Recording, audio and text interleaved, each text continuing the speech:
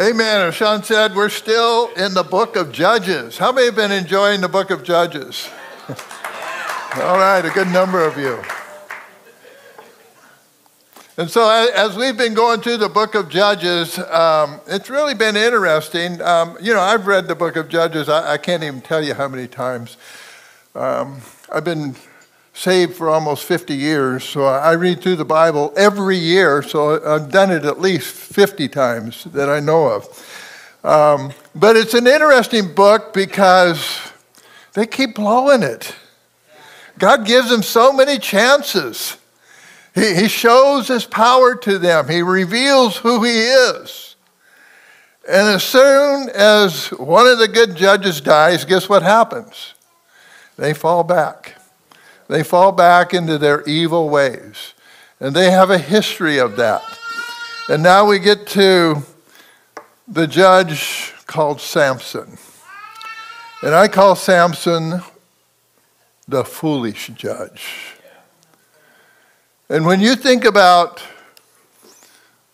all that the book of Proverbs has to say about a fool, Samson fulfills that portion of Scripture perfectly.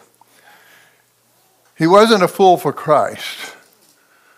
He was a fool for the devil, really, when you think about it. And so, you know, Israel went through a lot of difficulties, and then God would come and preserve them. In all of this, they're trying to inherit the land that God promised Abraham. And after Joshua, they'd pretty much inherited a lot of the land. But God left some of the land open so that future generations could be tested. And that's what we happen, see happening during the book of Judges the nation of Israel being tested. Are they going to follow through with the promise that God gave them and fulfill his word. And on many occasions, we see that did not happen. And the sad thing about Samson is this is that he was given extraordinary power, more than any of the other judges. And he could have used his power to really conquer all the land that was given to the nation of Israel. But he really didn't conquer that much. I mean, God had his way in the midst of some of that and allowed a lot of the Philistines to eat the dust. But it's important to understand that their experiences were really written for our admonition. How many believe that? It says in 1 Corinthians chapter 10, now all these things happened to them as examples, and they were written for our admonition upon whom the ends of the ages have come. And we're, so, so, in other words, we're supposed to look at what happened there and see what not to do. and rather see what God's intended purposes are for our lives. And then it says, Therefore, let him who thinks he stands take heed lest he fall. That's the admonition to us. Let's look at what happened to all of these judges. Let's look what happened to the life of Samson and take heed lest we fall. Just as there were many, many deceiving voices in that day, there was a culture in that day that was stuck in the mire. And that's a culture that Samson grew up in. And so, as we look to God's Word today, we will be looking at the life of Samson, who was given this extraordinary power to lead Israel away from their captivity. And so I titled this message Samson, the Foolish Judge, because of how he misused and abused the extraordinary power that God had given to him. But to be somewhat fair, I would say he was pretty much a victim of his culture to what the Israelites of that day found themselves in. It was a compromised culture. It was a culture, as we have seen, everybody doing what is right in their own eyes. They had been so steeped in that kind of a mentality that they had forgotten what the law of Moses had instructed them. They had been carried away to a place of compromise, no longer believing in the reality of God's word, to the point that they were following the idols of the day. One biblical scholar writes like the rest of his compatriots, Samson was a typical Israelite operating exclusively on the basis of his senses.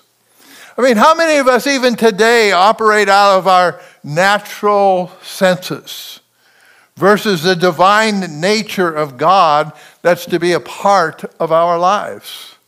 And when we constantly are operating out of our own sufficiency, our own reasoning, we have, you know, here's the deal. We grew up today in a culture that is just as compromised as Samson's culture was.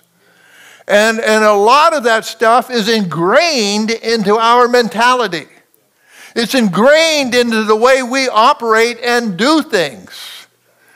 And as a result, the Word of God has a hard time getting through all that. And so we have to come to a place where we say, okay, I realize a lot of the things that were ingrained to me as a child. You know, the, the things that Uh, they're a part of our life, it's a part of who we are. And to, and to come to the realization that the person that I have grown up to be was a result of a lot of lies and a lot of common natural sense that goes against God's reasoning. The Bible says God's ways are higher than our ways. His thoughts are higher than our thoughts. And therefore, who's going to change? God doesn't change. His ways don't change. His values don't change. And so, how do we change? We change by conforming our thoughts to God's word and allowing His authority to rule our lives rather than all the collective reasoning of today. There's a lot of collective reasoning of today that is, di- that is totally against God's thoughts and his ways.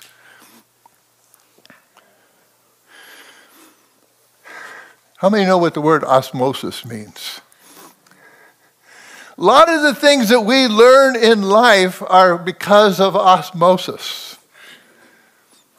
Here's a definition of osmosis learning by proxy or being exposed to someone can naturally achieve an unconscious assimilation of thoughts and ideas, knowledge, and even technical skills. It's called osmosis.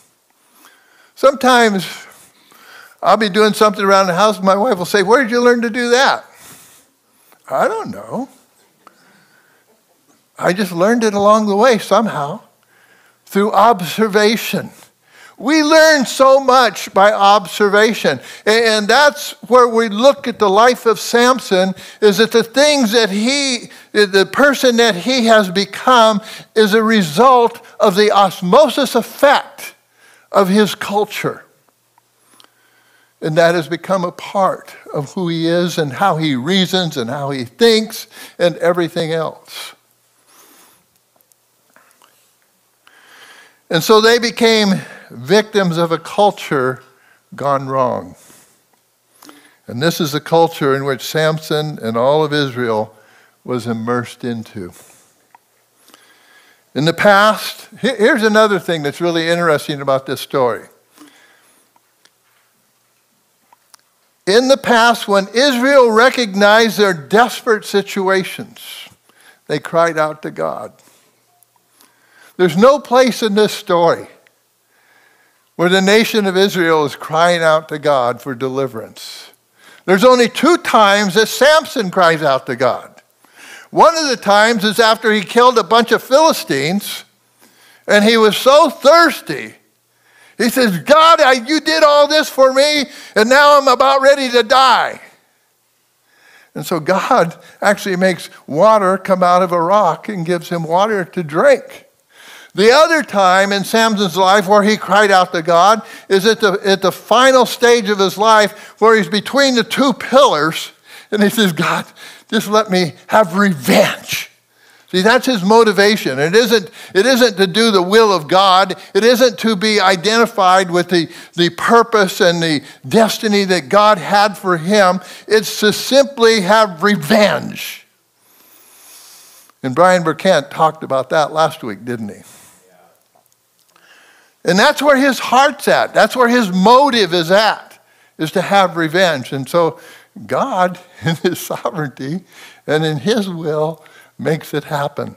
And we'll talk about some of the reasons why God allowed some of that stuff. And so let's look at the birth of Solomon or Samson. In Judges 13 in verse 1, again, the children of Israel did evil in the sight of the Lord again, again, and again, and again, and again. You'd think they'd learn along the way, wouldn't you? Again, the children of Israel did evil in the sight of the Lord, and the Lord delivered them. You know, this, this book is as much about the mercy of God as anything else, and the grace of God.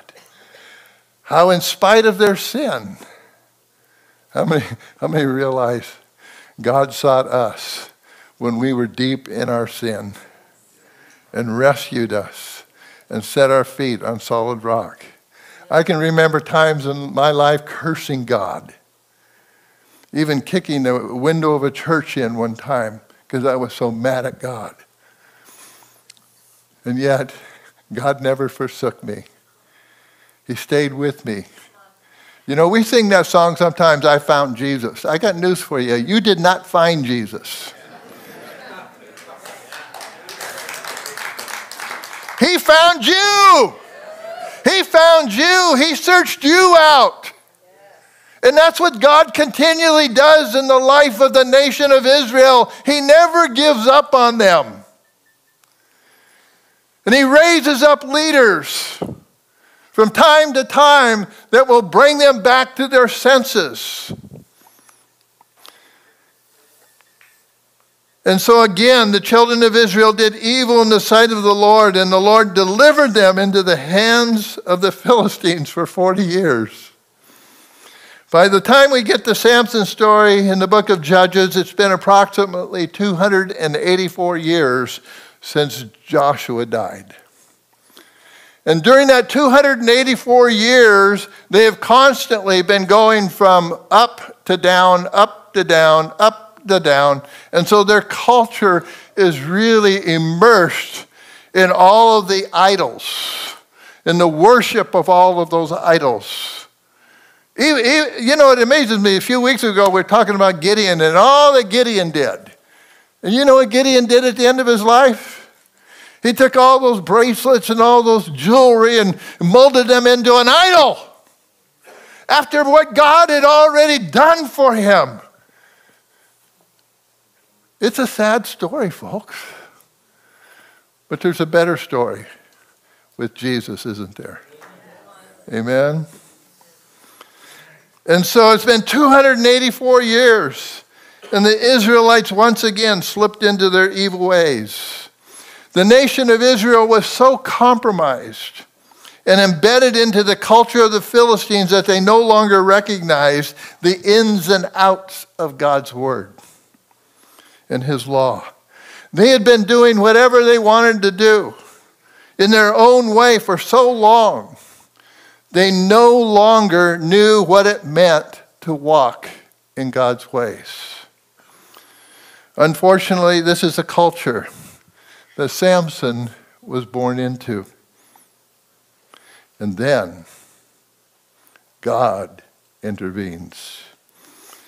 In Judges 13, verses 2 through 7, now there was a certain man from Zorah of the family of the Danites, whose name was Manoah, and his wife was barren and had no children.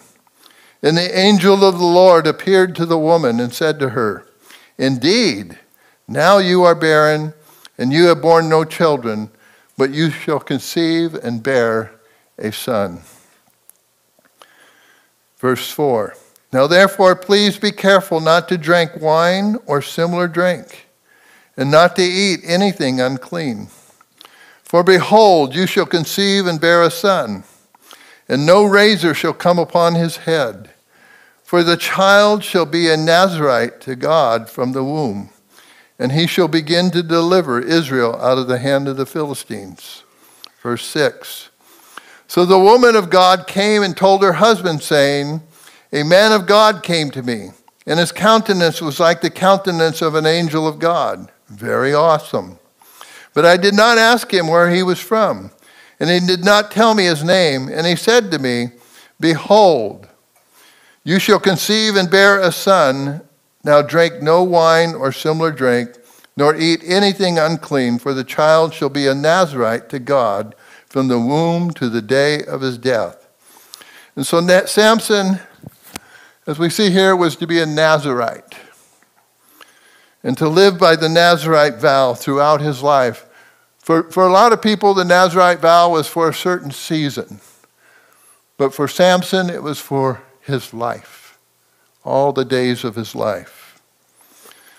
The Nazarite vow meant that one was to be a devoted or a consecrated person who was to be separated to God, including abstaining from fermented drink, refraining from cutting their hair, and avoiding contact with dead bodies.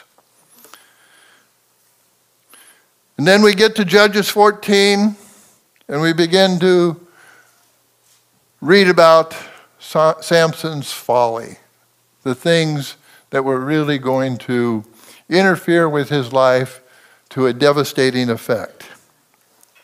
In verse 2, Samson went down to Timnah and saw a woman. You know, it's interesting.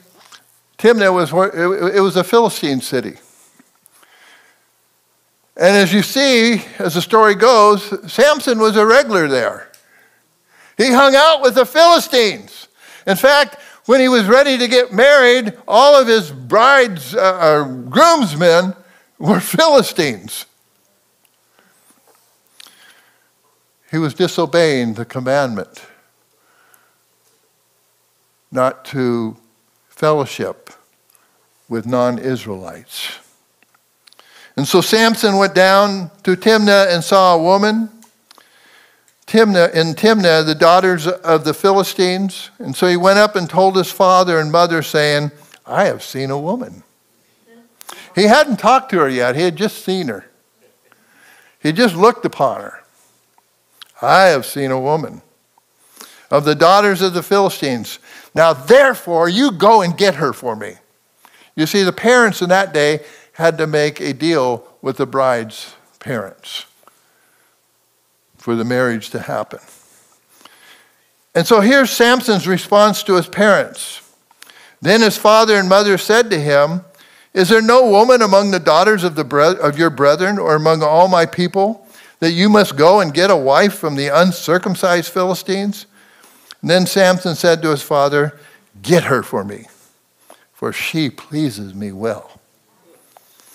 Samson has no respect or honor towards his parents which shows his ignorance towards the commands given to the law of Moses. He then orders his mother and father to go get her as a wife for him. His mother and father's response to him is very interesting. In the fact that it was actually unlawful and forbidden by the Mosaic law to intermarry with non Israelites. And they don't even mention that to him as part of their reasoning. That shows how far even his parents and the people of that day had strayed from the law of Moses and had accepted the culture of the day, had accepted what was happening in their culture in that day. And here's the thing that troubles me. As I look to our culture today, we have strayed so far, so far and it isn't just in the worldly culture, it's in the church culture as well. We have strayed from the reality of God's Word. We have strayed from all that the Bible teaches. You know, the Bible says in 2 Timothy 3:16, all scripture is given to us, is God breathed, and given to us for instruction in righteousness that we may be thoroughly equipped for what God has for each and every one of us. See, they had strayed so far that they no longer had any kind of a mentality to what God's purpose was in that day. They had settled into a place of complacency and acceptance that the Philistines ruled over them. Well, that's just the way it is. Samson, they rule over us.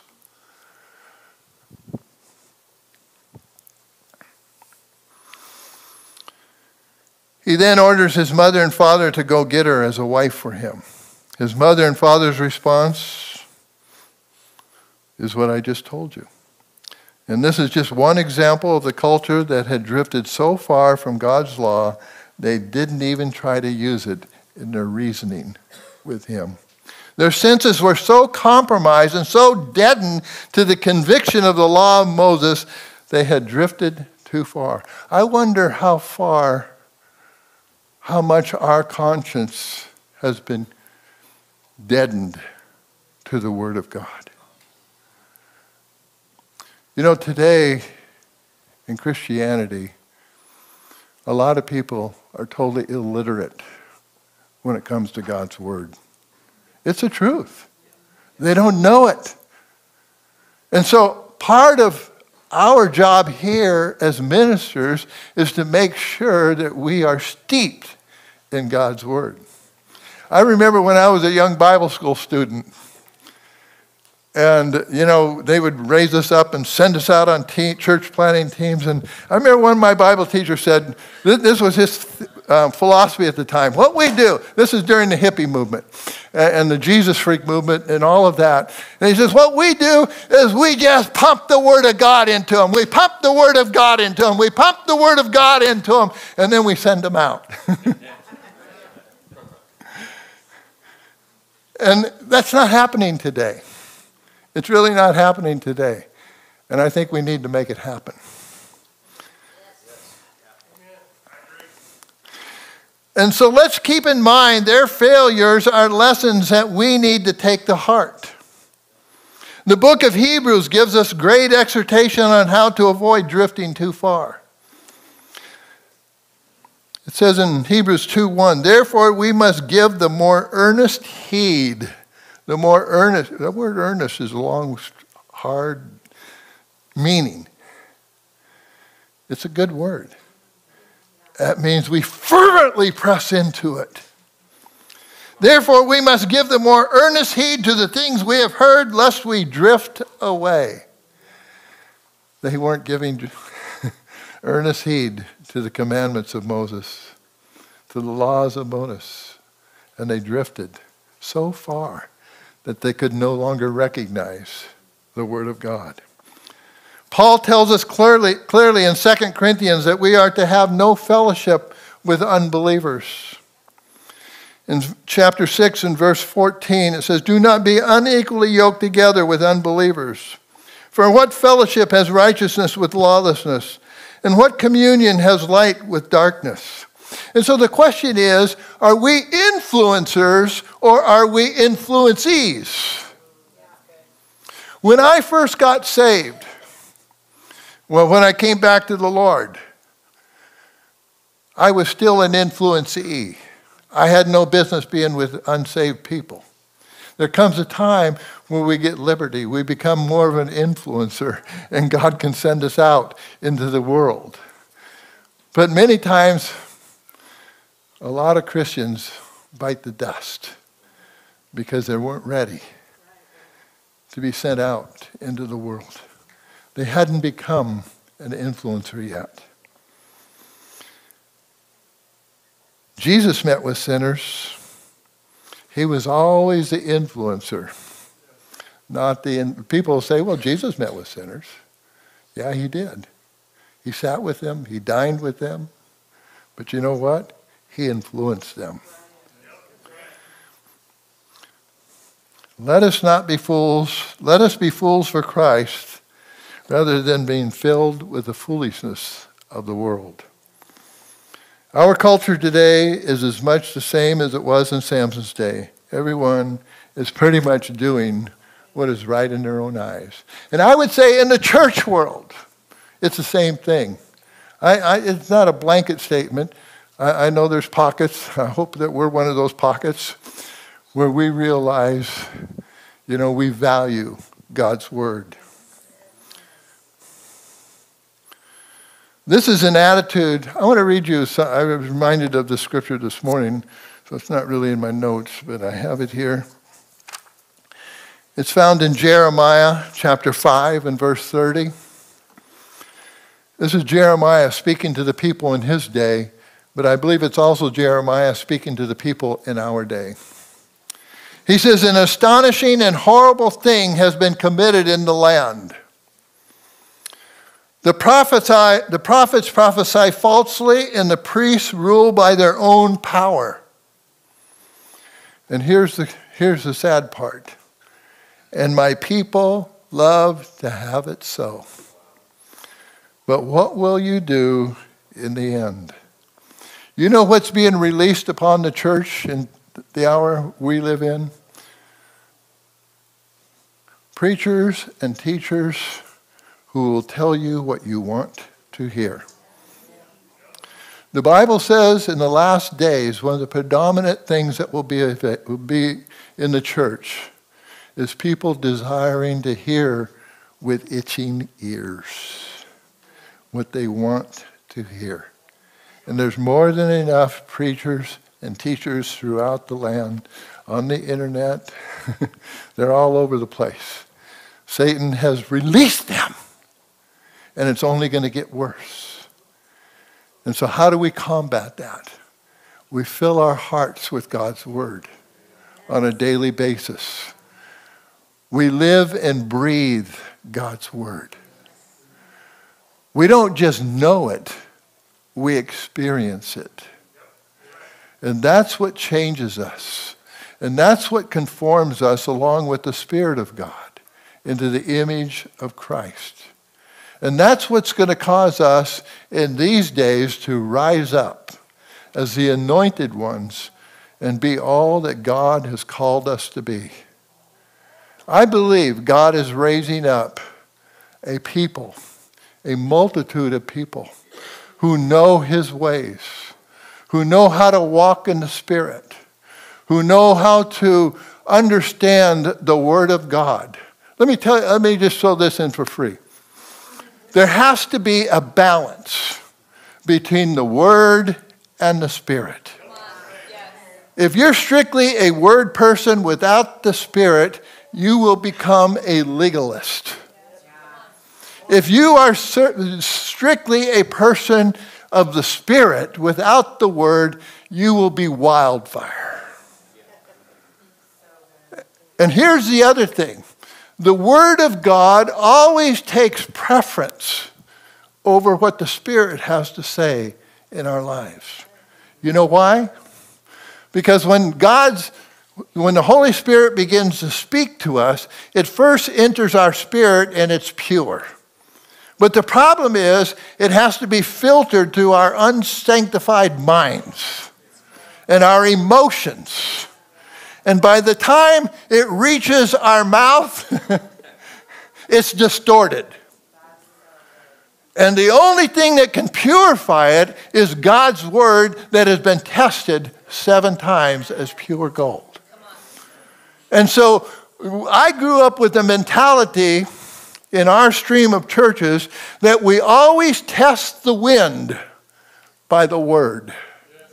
There's a lot of winds that throw through the body of Christ that create more um, destruction and havoc than they do in ministering God's truth. But can God still get through in that? He sure can. God doesn't need us to be perfect for his sovereignty to rule. And that's one of the things that we find out about Samson. God didn't need a perfect Samson. He could still do what he wanted to do. And that's why it's so important for us in this day and age to connect to the sovereignty of God. That we understand how our free will works with the sovereignty of God. And I'll give you a plug on one of my books. The one on the one, I don't have that many of them, but the one on prophetic purposes, the whole thing's about where free will and sovereignty meet. God wants his sovereignty to meet with your free will.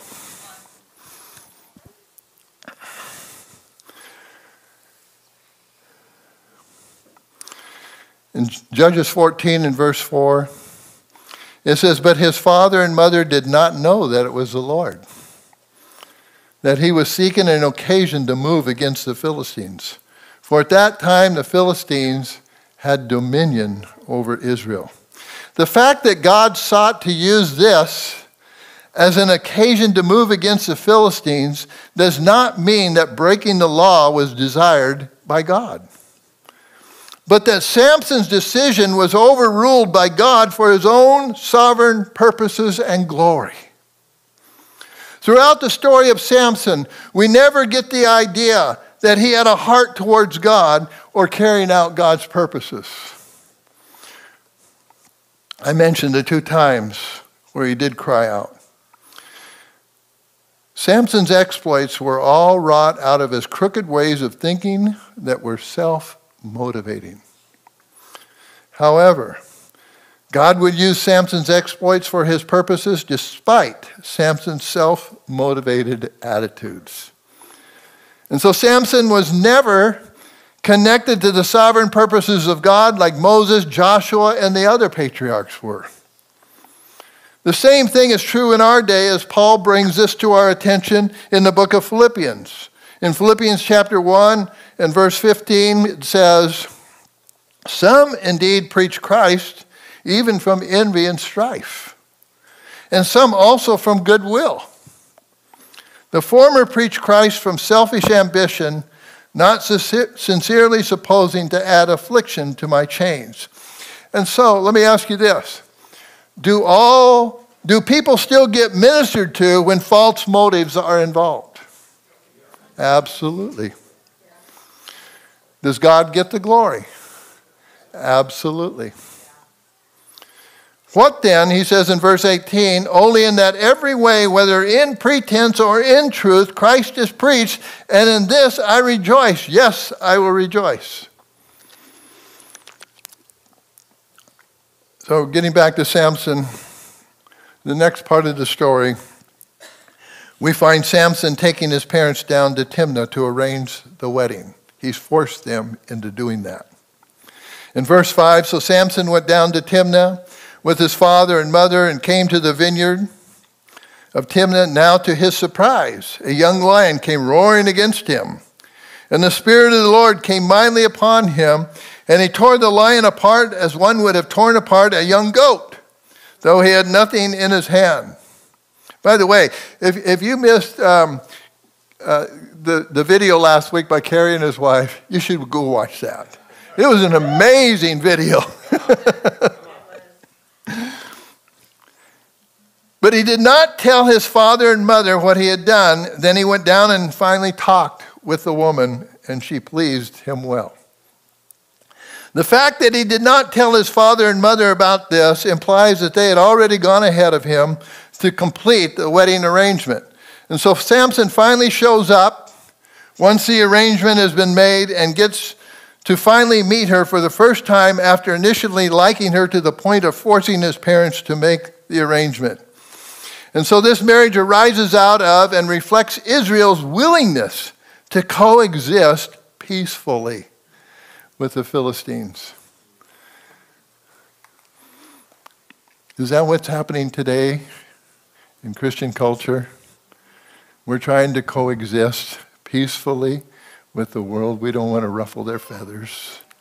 We don't want to get them all riled up.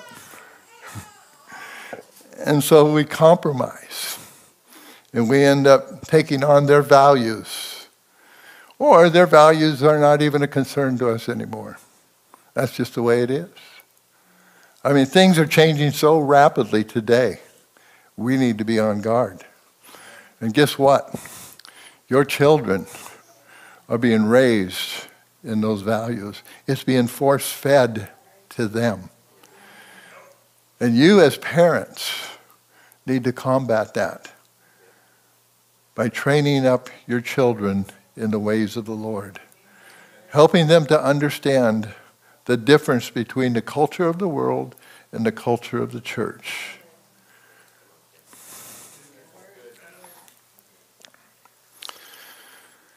As one theologian said, this action he, of this action, he says, with brilliant irony, he describes a free spirit, a rebel driven by selfish interests, interests, doing whatever he pleases without any respect for his parents and with no respect for the claims of God on his life. But in the process, he ends up doing the will of God.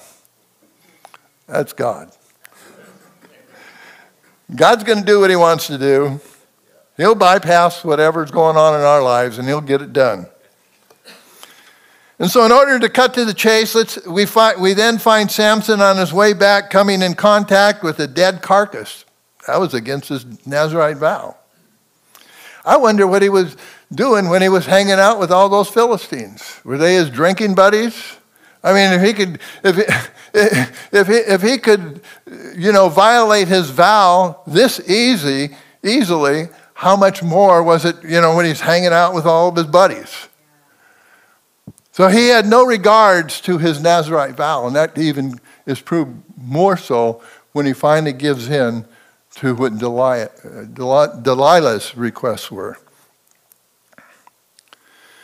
And so, with this in mind, Samson foolishly uses this little episode to pose a riddle to all the Philistine companions. They're his companions who were to be a part of the wedding party that his father had put into play.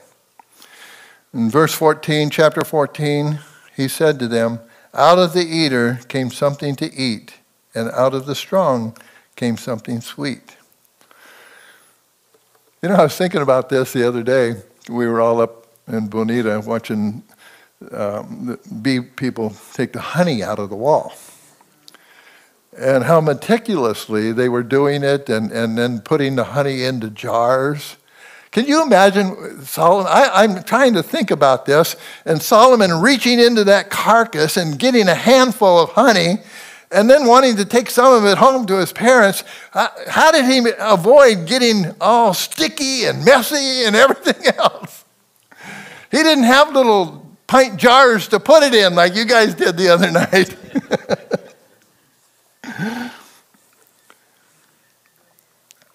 and then it says, oh, and as a result, Samson loses his bet with his companions. He then uses his power to kill. Again, he's using his power to do what? To pay off a debt, a gambling debt. He uses God's power to pay off a gambling debt. Now, is that crooked or is that crooked? Is that an abuse of God's power or is that an abuse of God's power? Then the Spirit of the Lord came upon him. God, you are amazing. in spite of all this, your Spirit's going to come upon him in a mighty way. And he went down to Ashkelon and killed 30 of their men, took their apparel, and gave them the changes of the clothing to those who had explained the riddle. So his anger was aroused, and he went back up to his father's house, and Samson's wife was given to his companion, who had been his best man. And so, as the story continues, Samson is once again foolishly using his power to avenge the Philistines for giving his wife to another man.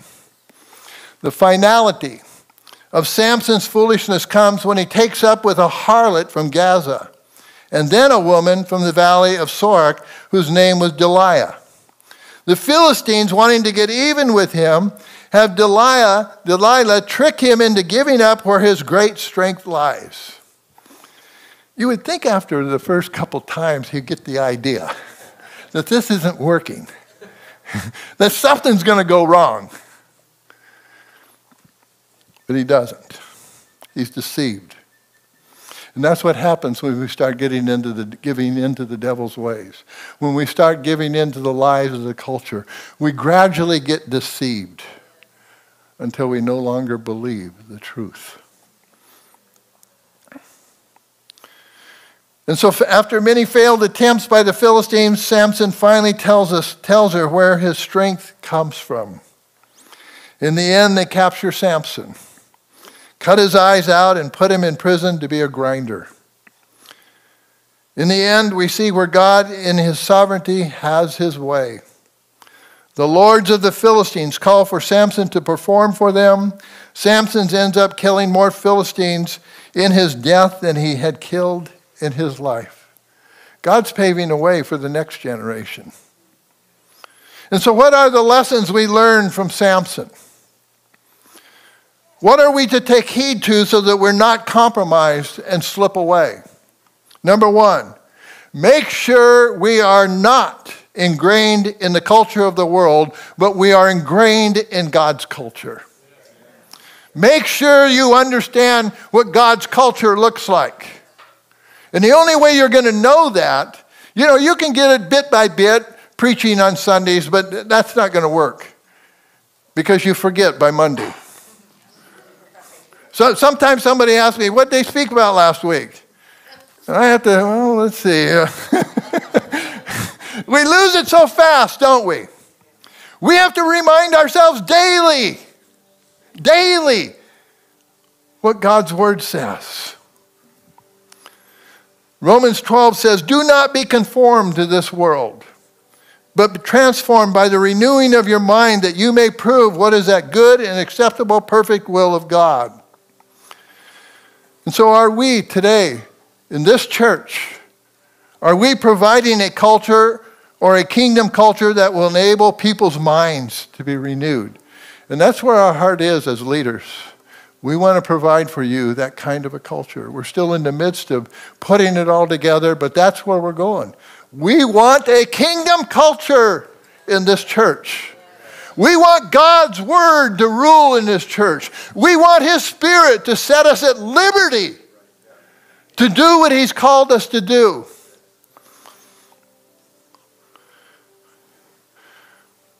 As leaders, that's what we want. And just as Samson was a victim of his culture, we have people coming into our church environment every week who have been wounded, bruised, and victimized by the worldly culture.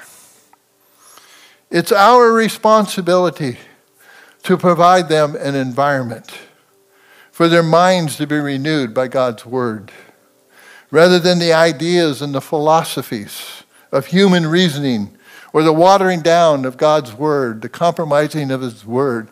Paul the Apostle says, I never failed to preach the whole gospel. He preached the whole gospel. He preached the good, the bad, and the ugly. He preached the goodness. He preached the severity. He preached it all. You know, in today's church world, we understand the goodness of God. It's been grained into us. We understand that, but we don't understand the severity of God. We don't understand that. It is not preached in today's church world, it is ignored. It has to be preached. I'm telling you this now. It has to be a part of our culture. The fear of God is the beginning of wisdom. You want wisdom? You got to fear God. You got to understand what that means. It's not just an awesome respect, it is all of that, but it's more. One of the things that led me to finally turn my life over to Christ was I, I grew up hearing hellfire and brimstone messages. And I was deathly afraid of hell. You know what's happening in today's church culture? Hell is being minimized. It's being minimized. Hell is still a burning flame of fire. And it will always be. And it will be where you will be if you do not accept Jesus Christ as the Lord of your life. It's more than just accepting Him as Savior. He says, Confess me as Lord, confess me as ruler, and I will be your Savior. Come out from among them, and I will receive you as a father, and you will be my sons and daughters. Amen? That's the word of God to us in this hour. And we've got to get it, folks, or worldliness will creep in.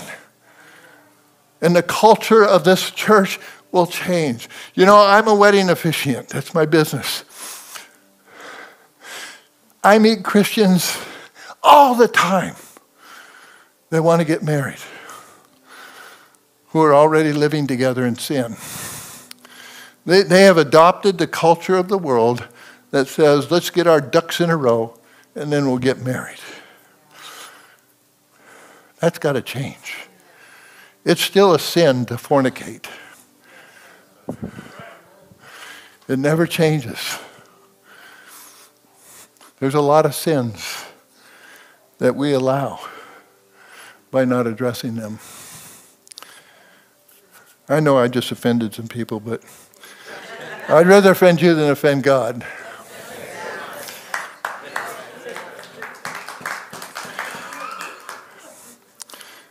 That means every one of us taking on responsibility to be transformed by the renewing of our minds, by God's word, so that we can provide an osmosis effect of those coming into the church to be renewed. Again, if we're all coming into the stature of the fullness of Christ and we're walking in that, you know, people take on the level of maturity where the body is at. They just adjust to it. It's called osmosis. And we want to raise that level of osmosis. Amen? We want to raise that level of osmosis so that people's lives can be really changed. And their minds can be renewed by the Word of God and the Spirit of God.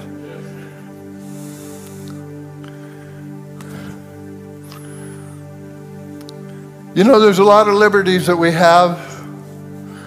And some of those liberties, you know, they're all right. But don't take your liberty and broadcast it all over the web, all over Facebook. The Bible says in Romans 14 23, all things are lawful to me, but not all things are helpful. All things are lawful for me, but not all things edify or build up. Let no one seek his own, but each other's well being. Then verse 22 sums it up. So, whatever you believe about these things, keep to yourself and God. Blessed is the one who does not condemn himself by what it proves. I, I remember years ago, I like the Beatles. I grew up with the Beatles. Anyway, my son had some friends over, something was going on. They were having an overnight party. And I was playing one of the Beatles songs. And this young guy says to me, How come you're playing doper music? and I realized right then that my liberty was possibly offending him. and so I keep to myself what my personal liberties are between me and God. And that's the way we all should be. I see too much on Facebook. You know, just, oh, look, all the liberty I have. I can be a Christian and do this, and it's wonderful. Anyway, enough said. you got the point. We need to ask ourselves are we more bent on doing our own thing and what seems right to us, or are we more concerned about the well being of others? The second lesson, I've already talked about that, so don't we, we separate ourselves from all that's ungodly. I already said all this. Thirdly, be a good steward of your gifts and talents. Samson, and I'm about ready to end here. Samson used his unique gifting from God foolishly for his own purposes and revenge, even though God, through his sovereignty, allowed it to happen. 1 Peter 4:10 says, "For each of you has received a gift. Minister it to one another as good stewards of the manifold of grace." As Paul wrote to the Corinthians, he said, and there are diversities of activities, but it's the same God who works all in all. But the manifestation of the Spirit is given to each one for the profit of all. And so let's be good stewards of the gifts. First of all, in order to be a good steward of the gift, you have to develop the gift.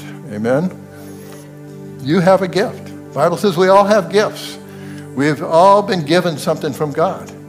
And we need to, we need to um, discover what that gift is, practice it, find so we need to increase. We need to grow into the stature of the fullness of Jesus Christ. And so the motives of our heart, the wrong motives will only produce wood, hay, and stubble, of which Paul warns us that those will be burned even though we will be saved. By, I'm not sure what that means, being saved by fire.